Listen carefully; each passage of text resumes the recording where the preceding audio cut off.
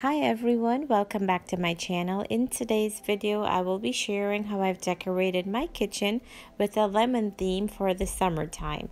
Now it's been kind of hard to make videos, especially with everyone home and with homeschooling and now thrown into that mix we've decided to get a puppy now this is harley he is 12 weeks old and like everyone else his favorite place seems to be the kitchen he is constantly on my heels if i'm not careful i trip over him so it's been a little tough trying to keep the home organized and clean to make videos.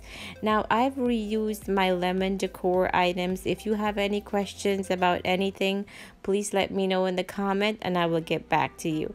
Now, thank you so much for watching. I hope you guys enjoyed this video and I'm sure you will see, be seeing a lot more of Harley in my videos.